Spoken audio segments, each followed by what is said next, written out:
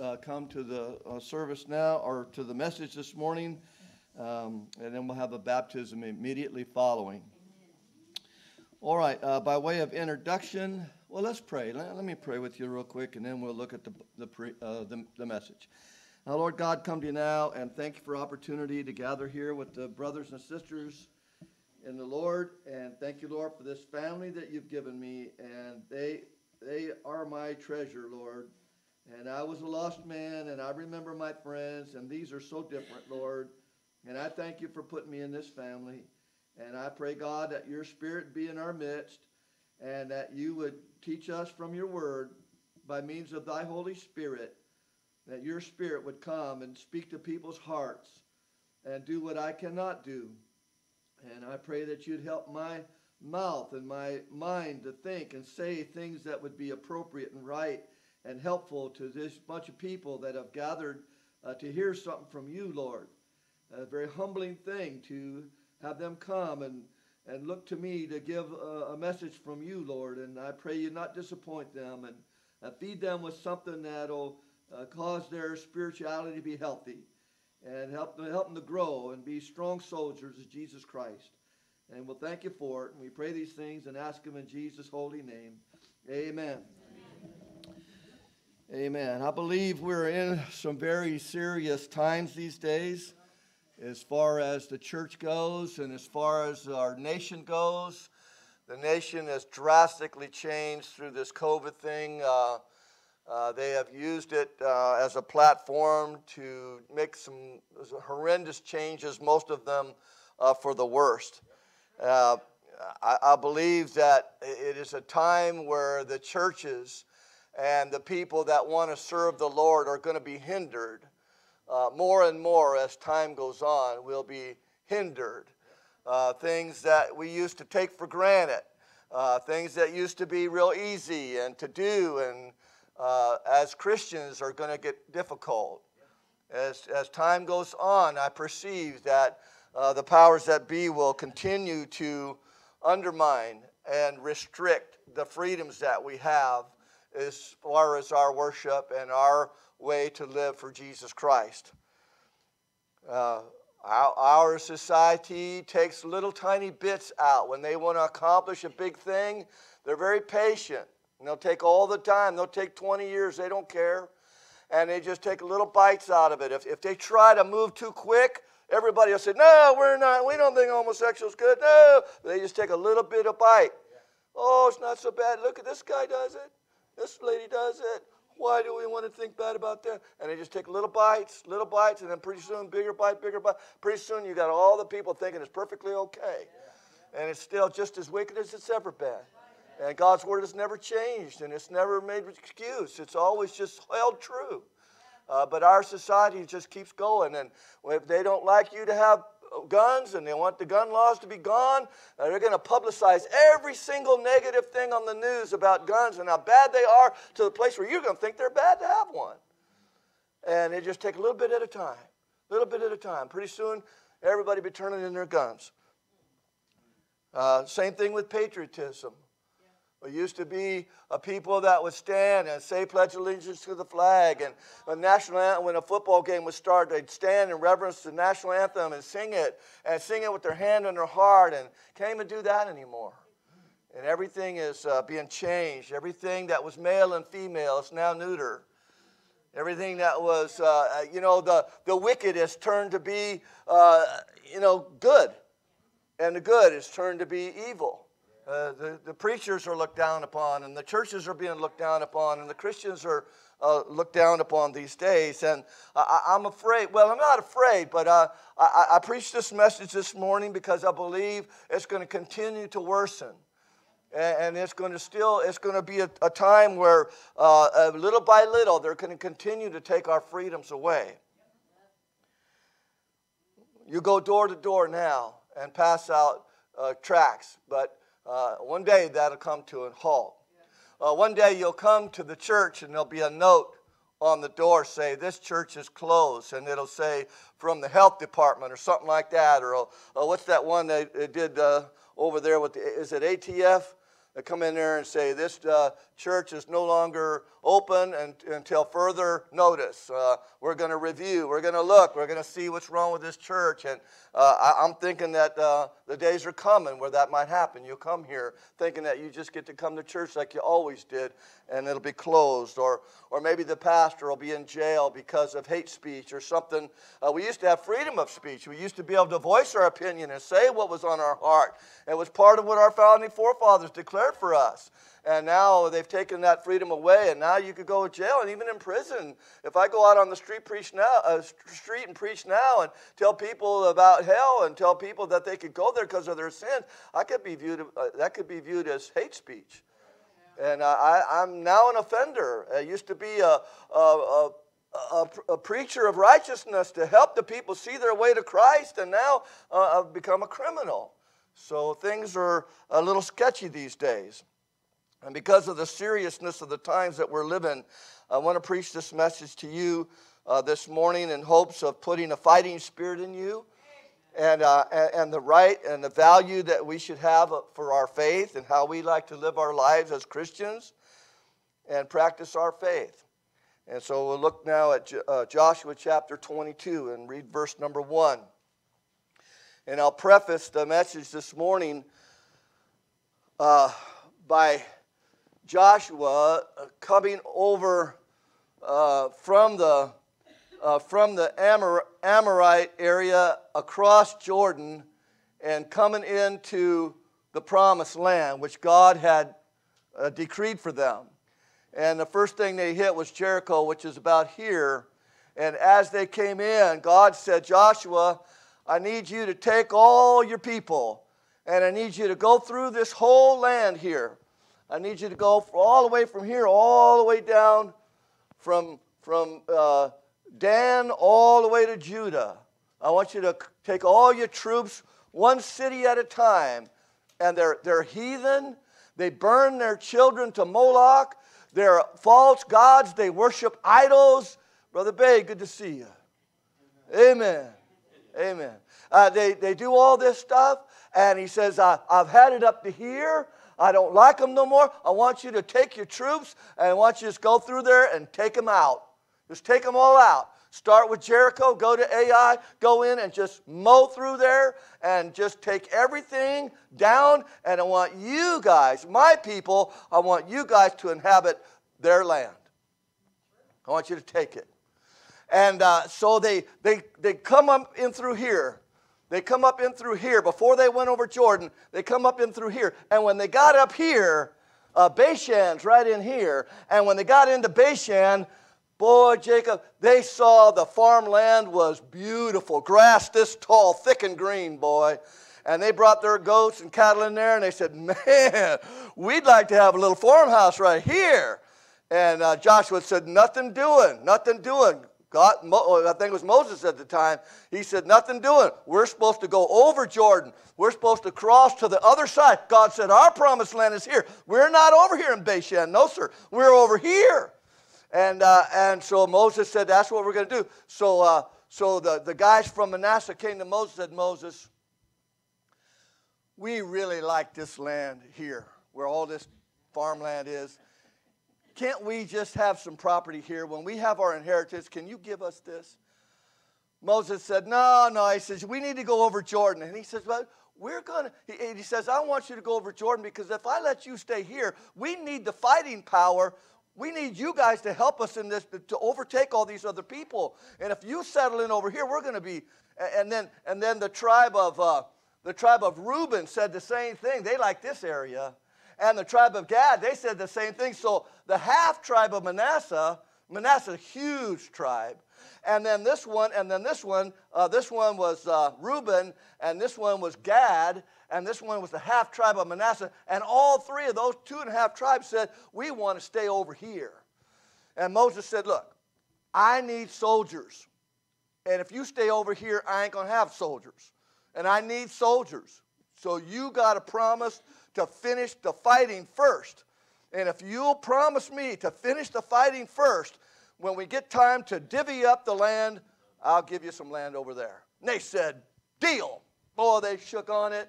And uh, they went and crossed Jordan. And, and when they crossed Jordan, God told Moses, You don't get to go. And Moses said, Man, Lord, I really wanted to. He said, I'll tell you what, I'll let you see it, but you don't get to go. So he took him up on this high mountain, about right here, and uh, took him up here and let him look at the promised land over here. And, and Moses got to see it, but he never got to, never got to go in. But Joshua took him in. And so they went in there, Brother Joe, and they, and they beat everybody up. Uppercuts, cross, left hooks, everything. They beat them all up and they, and they, and they killed all of them. And every time they went into a, uh, Miss Leah, every time they went into one of them cities, all the wealth them cities had, they put it in their pocket. And they had bags, on big, big bags of money. Yeah, true. And uh, every time they conquered a city, they come away with, with lots of spoil. Bible calls it spoil. And so the treasurer, whoever that was, was doing pretty good. He had his calculator out every day, boy. He was ringing up the stuff, you know, and boy, he had it going on. And, uh, and they were taking all these cities. And finally, they got about, well, I'd say 85% of them all conquered. And Joshua said, We're going to have a big meeting today, and we're going to divvy up the land. And all Israelites were excited about it, and they said, Okay. Let's divvy up the land. And Joshua says, All right, I promised you some land over in Manasseh. You guys go ahead and take that. And uh, you Reubenites, you want to go on the other side of Jordan? It's all ours now. You go ahead and go over there now. And he says, uh, You Gadites, you over there, you go ahead and go over there. Buy your, you can have your farm. I give you all this land. And he said, Take all this money with you. And boy, they loaded up a bunch of money and they all went across the, the river and they started putting out their their homes, start building their, their cabins. And then you know what they did, Amaret? They thought, well, you know what? We're going to have children being raised in our new land. And as we raise these children, they're going to wonder this big old river that goes between our two, our two areas here, uh, this big river is an automatic border. It's just automatic border between us. And when our children grow up, they're not going to think that we associate with them across the river. And we're worried about that. We want our children to know that we believe just like they do. And when it came time to serve God, we go and serve God. All the feast days, we go. We do everything they do. We're just like they are. We're just on the other side of Jordan. But we want our children to know. So they said, I'll tell you what, let's do. Let's make us an altar. And it's not going to be for sacrifice, and it's not going to be blood atonements to make atonements for his sin. It's not going to be anything to do with worship. It's just going to be when our children get older and they say, What meaneth this altar? That we'll be able to tell them this is because we're associated with them. And we worship the God of uh, uh, Abraham, Isaac, and Jacob. And our, our temple is in Shiloh, and we go there for worship. And all the feast days we observe. So every time we come across this river, we go there because we are of them. We are not separate. We want our children to know. And uh, so they built this altar. And when they did, all them Israelites on the other side said, uh oh, we got us a huge problem. These guys are trying to have their own worship service, and they're going to separate from us. And we serve the one and only true God. And now they got them an altar going over there, and they're going to get something else going like they did in Peor or like they did with Jeroboam. And God's wrath is going to smite all of us. So we're all worried about it. And these idiots are having another church, getting another temple going. And they're worried about it. And they're so upset about it that they all got the, the heads of the father. I think a hundred of them. I think they got a hundred of them. Big boys, big shots. Yeah. The heads of the fathers, it said, ten from every tribe. And boy, they come over there and they walked up to those guys by that altar and they said, What meaneth this altar? And he said, You guys intend to bring God's wrath down upon us like we did in the days of Peor and like it did at the days of Jeroboam. Uh, well, those days hadn't happened yet, but, but, but they got this, you got the idea. And they was worried about it. Amen. They was worried about it. And so we're going to read about what happened and, uh, and get a message out of it if we can. So let's look at verse number one. Then Joshua called the Reubenites. That's these guys over here. Look up here, right here. These are Reubenites. And the Bible says it called the Reubenites and the Gadites. These are the Gadites right here. These guys. And then these are the Manasseh guys, the half tribe. the half tribe of Manasseh, and said unto them, You have kept all that Moses, the servant of the Lord, commanded you, and have obeyed my voice in all that I commanded you, saying, You know, go over and help us destroy all these cities. And you guys did a good job. You were faithful. And you showed yourself the man, and you did what you said you were going to do. You kept your promise. And uh, so they had proven themselves to be loyal men. They had proven themselves to be men of faith and they've proven themselves to be men of bravery because they went with them and they took those cities out. And they didn't go to their lands until it was done. Verse 3 Ye have not left your burden these many days unto this day, but have kept the charge of the commandment of the Lord your God. Verse 4 And now the Lord your God hath given us rest unto your brethren as he promised them. Therefore now return ye and get you unto your tents and into the land of your possession, which Moses, the servant of the Lord, gave you on the other side of Jordan. So here's a godly permission uh, to be separated from the body uh, by this river. Verse 5 But take diligent heed to, your, to the commandment and the law. You will be geographically separated. That's going to be an automatic temptation not to join us convenience is going to make you want to stay over there and not join. It's going to be extra hard for you to come across that river. I'll go all the way to Shiloh. And so he says, uh, uh, Be diligent heed to take uh, to the commandment of the Lord, which Moses, the servant of the Lord, charged you to love the Lord your God and to walk in all his ways and to keep his commandments and to cleave unto him and to serve him with all your heart, with all your soul. Verse 6. So a stern admonishment by Moses, or was it Joshua? Joshua. A stern, uh, uh, you guys watch out now. Watch out. Make sure you keep, just like you said you promised to fight for us, I want you to promise to keep your faith. And don't let this distance and don't let this river and don't let complications stop you from being with us. We are together in this. Amen. We're the people of God. And this separation could weaken us and weaken the cause that we have here in this land.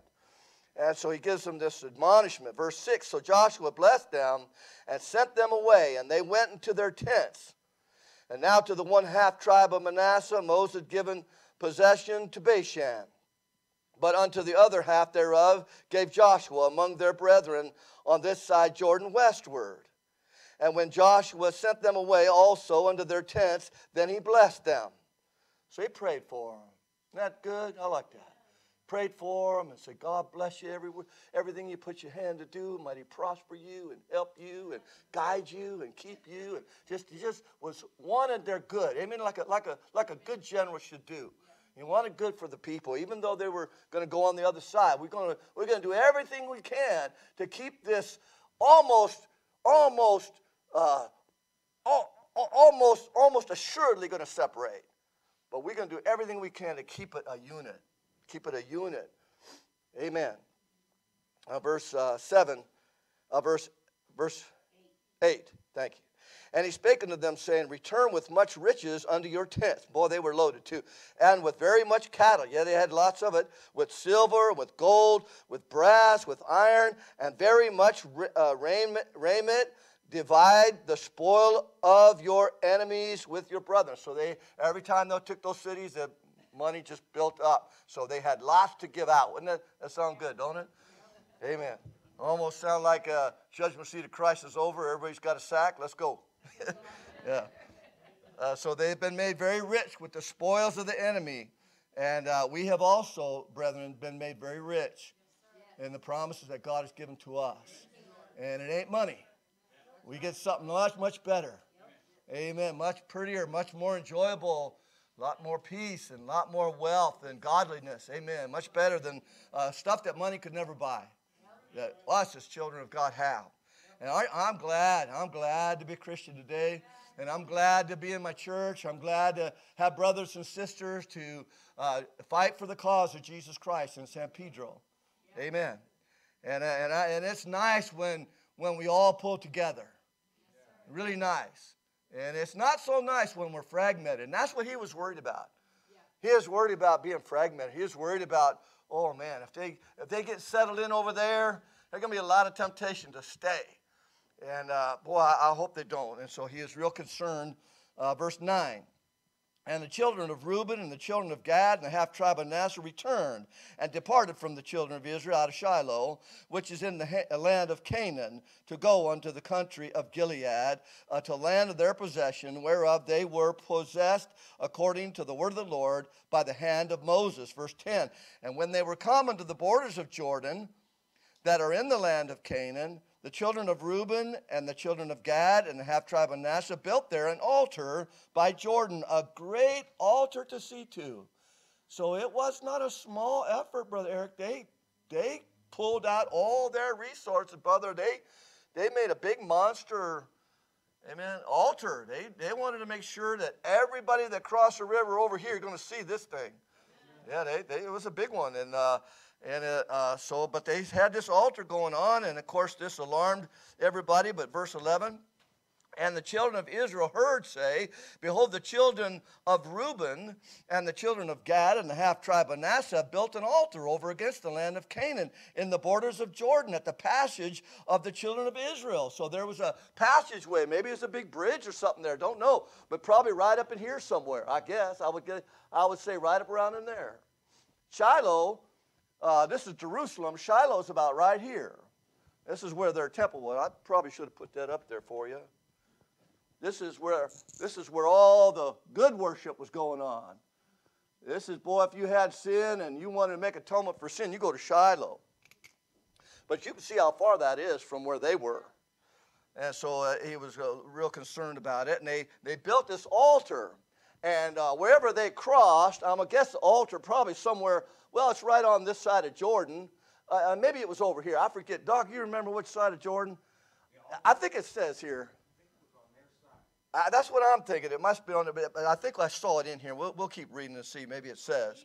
But you get the idea, this altar going up, and all the children of Israel. So, wait, wait, wait, wait a minute. We have our way of worship. Now, you're going to come up with something else. God ain't going to be happy with that. And boy, we may be in, we may all be in trouble if you act stupid. And we don't want you acting stupid. And so they're so concerned about it, they're ready to kill him over it. Oh, yeah, they, they're serious about it. They said, man, if God ain't with us, we're done. But we're just a little bunch of people. If God don't help us, we are out. and they're telling the right thing. They're telling the right thing. All right, where have I got you? In verse uh, 11. And the children of Israel heard say, Behold, the children of Israel, uh, Reuben. Okay, verse 12. And when the children of Israel heard it, the whole congregation of the children of Israel gathered themselves together at Shiloh to go up to war against them. Boy, I'm telling you, they're serious about it. They're serious about it. Verse 13 And the children of Israel sent unto the children of Reuben and the children of Gad and the half tribe of Manasseh into the land of Gilead Phinehas, the son of Eleazar the priest. Man, they're taking the man of God with them. they are dead serious about this. Now, he's going to come over and preach at them. If they don't want to trust the elders, he'll, he'll get the preacher there. Amen. And uh, then verse number 13 of uh, uh, so this problem was going to separate them spiritually. That priest was there, see? So they're worried about about their worship service and how it was going to be conducted. Whether it's going to be like us or they're going to do something else going. They got that, that priest showing up. Verse 14. And with the ten princes of each chief house a prince, so 10 per tribe, 11 tribes. Huh? And with him 10 princes of each chief house a prince. Okay, I got you. Throughout all the tribes of Israel. Yeah, that sounds right. And each one was a head over the house of their fathers among the thousands of Israel. Uh, so they got 10 big shots coming over there along with that priest. And uh, so there was a huge problem. Verse 15, and they came unto the children of Reuben and to the children of Gad and to the half tribe of Manasseh unto the land of Gilead and spake with them, saying, Thus saith the whole congregation of Israel, What trespass is this that ye have committed against the Lord God of Israel, to turn away this day from following the Lord, in that ye have builded you an altar that you might rebel this day against the Lord? And so if this is rebellion, uh, or if this is sin, then it is going to separate them, and they don't like that. Verse 17 uh, Is the iniquity of Peor too little for us, for which we were not cleansed until this day? Although there was a plague in the congregation of the Lord, we're still suffering from that last one. So we don't want another one to start. We need over the first one. Verse 18. But that ye must turn away this day from following the Lord. And it will be seeing you rebel today against the Lord, that tomorrow he will be wroth with the whole congregation of Israel. So they had personal interest in what these guys were doing. And so now we see why they were so serious about it, because they knew that the wrath of God could fall on the whole bunch over their uh, deciding to be rebels against the ways that they were taught by Moses. So their, their decision affects every, all Israel. Verse 19, notwithstanding, if the land of your possession be unclean, then pass ye over unto the land of the possession of the Lord, wherein the Lord's tabernacle dwelleth, and take possession among us but rebel not against the Lord, nor rebel against us in building you an altar beside the altar of the Lord our God. So they said, if, if the land is sinful and you guys can't handle it, and you're trying to build an altar to make sure the sin thing is uh, taken care of, don't do it. Just tear this stupid altar down. You come back over here, forget this land. Come back over here and dwell with us. But don't separate. Whatever you do, don't, don't let nothing stop you from being part of us. And this altar thing is serious. We don't want it. And uh, he, boy, they wanted they wanted 100% unity uh, with these three tribes. All right, where have I got you? Verse. 20. Thank you. I'm glad somebody's paying attention. Amen. All right, verse. Uh, uh, let's see. He's saying, uh, okay, verse 20. Uh, Did not Achan the son of Zerah commit a trespass in the accursed thing, and wrath fell on all the congregation of Israel, and that man perished not alone in his iniquity then the children of Reuben and the children of Gad and the half tribe of Manasseh answered and said unto the heads of the thousands of Israel, Lord God of gods, the Lord of God of gods, he knoweth, and Israel he shall know, if it be in rebellion or if in transgression against the Lord. Uh, save us not this day. He said, Man, if we're doing that, kill us all. We, we deserve it. In other words, we're saying, I agree with everything you're saying.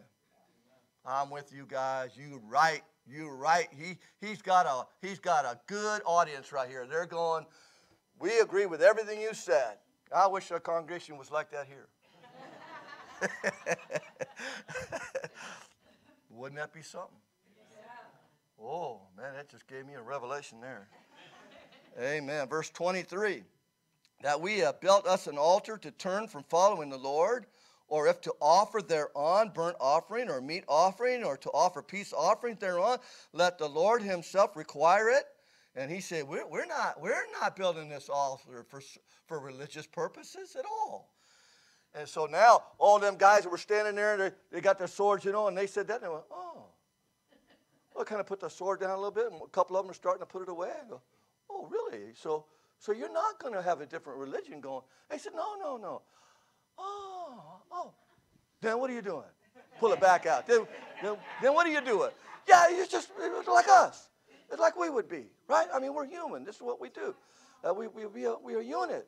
We want to stay a unit. We don't work together. We don't want to be separated. We don't want something to get in between and, and make us weak. We want to be strong for the Lord. Our cause is a great cause. It's the best cause in all the world. And we want it to be as unit and as best as we can. And so when people start getting sideways and start thinking something else and start having reasons why they don't want to come, it's a problem. Yeah. It's problematic, especially in the days we're living now. Yeah. So you can see why I'm preaching it because it relates to us. It's something that goes on right now everywhere. Uh, the powers that be are trying to dwindle and pull and uh, take pieces out of it, and some of you are going to be affected by it. And some of you are going to think there's something to that. And, and if you don't have the purpose of God on the top of your priorities, then, then you tend to be uh, go with it, see. And it'll, it'll weaken us and tear us down.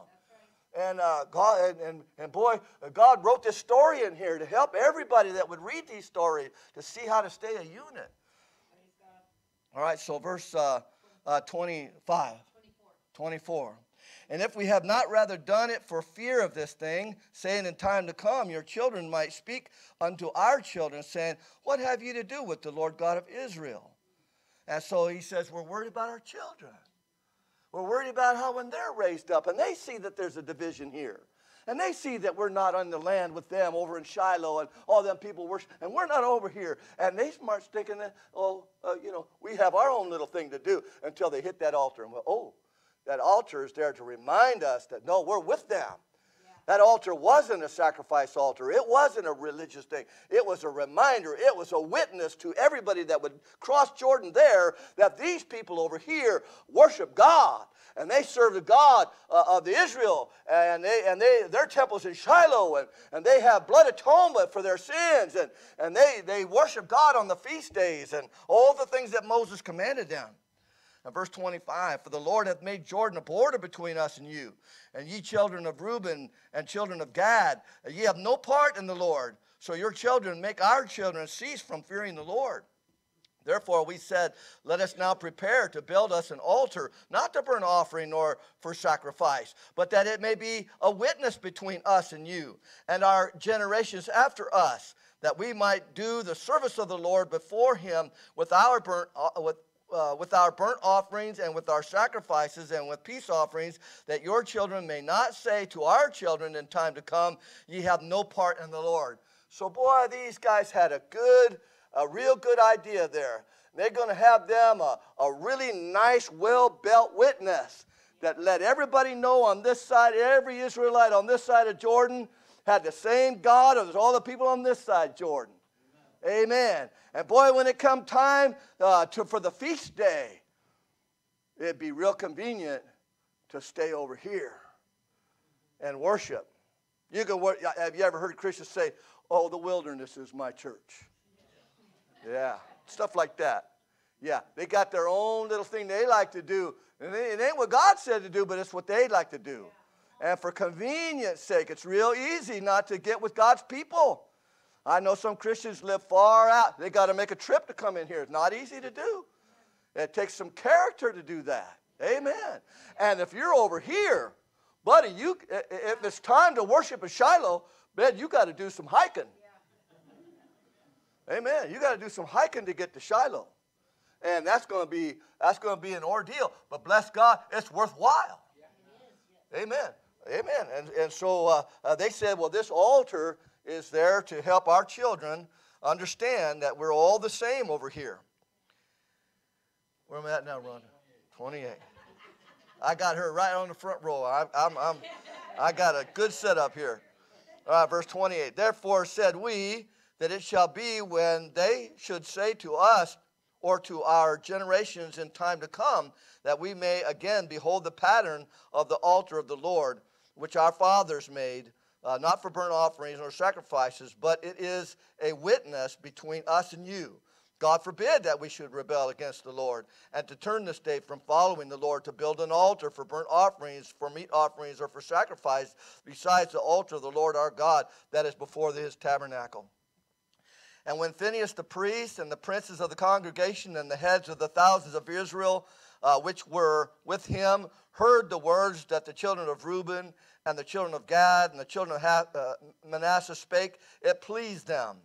And Phinehas the son of Eleazar the priest said unto the children of Reuben and to the children of Gad and to the children of Manasseh, This day we perceive that the Lord is among us, because ye have not committed this trespass against the Lord now ye have delivered the children of Israel out of the hand of the Lord.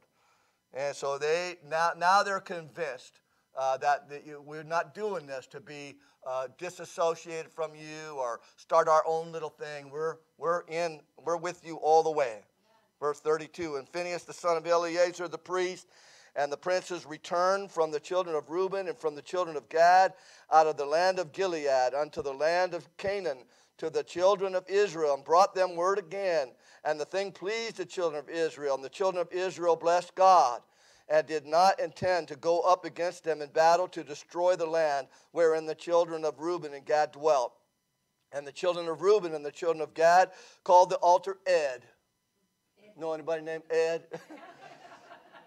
and here's what it means For it shall be a witness between us that the Lord is God. So uh, and they go through there, and old Ed was standing there. And uh, Ed was there to testify that you, all you people on this side, you keep you pass me right on by, and you go right into Shiloh, And you go in there where the real altar is, an altar of God. Amen. You go there. And they were separated by the land and by the river, uh, but not by intent or heart. I want you to think about that. They might have had a long distance between them, but as far as the heart was concerned, it was joined with them. They were not separated, not in heart, only in geographics. And their heart was right. They were with the people. We're going to have church over in Shiloh. We're not going to do our own thing. And though divided in geographics, they were, they were uh, separated that way, but not in faith and not in their intent to serve the Lord. And when it came time for the feast days, they were just going to pack a, a lunch and maybe a dinner. But we're going to get over there, and we're taking our families with us. We may have to buy a couple oxen to pull the cart. We may have to uh, come with a whole bunch of neighbors, but bless God, when it came time for the feast days, we're going. And when it came time to make atonement for our sins, we're bringing our lamb and we're going to Shiloh with that lamb. I don't care if it takes a week to get there, we're going. And you can see how important it was for them. Can you see how important it was for them? No matter what the obstacles was, it was important for them to make sure that they got to the church. They got to the place where God's people were. That's where the strength of God was, with the people. And that's the strength of the, the hope of San Pedro is the strength of this church. I know there's obstacles, and I know it's inconvenient sometimes to get here. And I know sometimes it's a long way. Some of you live a way out, and it's difficult. But bless God, it's worth it. It's worth it. We need the numbers. We need the people. I need some water. If somebody can get me a glass of water, thank you, brother. Uh, but we need we need the people. Amen. Uh, to plan extra time if you have to uh, to make the distance. Uh, every time they got to the river, they saw that altar, and it reminded them uh, the things that they had to guard against uh, was was sin. Uh, sin and, and their own uh, life and how strong they were spiritually would, would make them change their mind when it came time to go across the river. Yeah. And I just want to say, if you find yourself out of church, sometimes it'll be your sins that's causing you to, to stray from being here. But that's when you need to be here the most. Yeah. Amen. Amen. Uh, the, the, the thing that you don't want to do the most is the thing that you need the most. Brother, when I get sideways, it, it doesn't take me long. I come into church, sometimes I come into church like this. And boy, that, that first song I'm going, I'm going. Second song, I'm going. Da, da, da. Third song, I'm ready to go to the altar. I'm exaggerating all this stuff to make a point. There's a spirit that I need. And that spirit wars against my old flesh. My old fleshy man just prone to leave the God I love. You know how it is. Yeah. It just always uh, find some fun, find some trinket, running and play. That's always uh, uh, let the old. But see, he said, uh, if there's one thing to really guard against to keep you coming, is the sin. You got to guard against the sin. He said he didn't want you to rebel this day. Talked about sins of the heart. And, uh, and those, those, things there would be something that would keep them uh, from coming. And, uh, and then you got to think about this too. One thing that'll keep you from coming to church sometimes convenience. Thank you, brother. Thank you very much. Sometimes just convenience. I got a gas station right by my house, right there on 13th Street. That's stone throw away. I can walk to it. Nothing to it. And the gas price ain't that great. But it's there, it's convenient. Uh, they got another gas station on uh, Carson Boulevard over in Torrance. It's 20 cents cheaper over there. And my wife say, go over there. I said, honey, I'm in a hurry. I gotta, I gotta just get gas right here. I'm paying the extra. Why am I paying the extra? Convenience. And that's to me, that's I pay the extra. Just convenience is worth money to me. Amen. And it is to you too. Convenience is one of those things that plays a big part in our decision making. Brother Albert, you live out in Lakewood. That take 20 minutes, half hour to get here.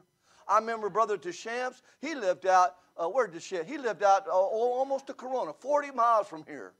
Drug his whole family in the church. Did that for years. I'm just saying, sometimes convenience.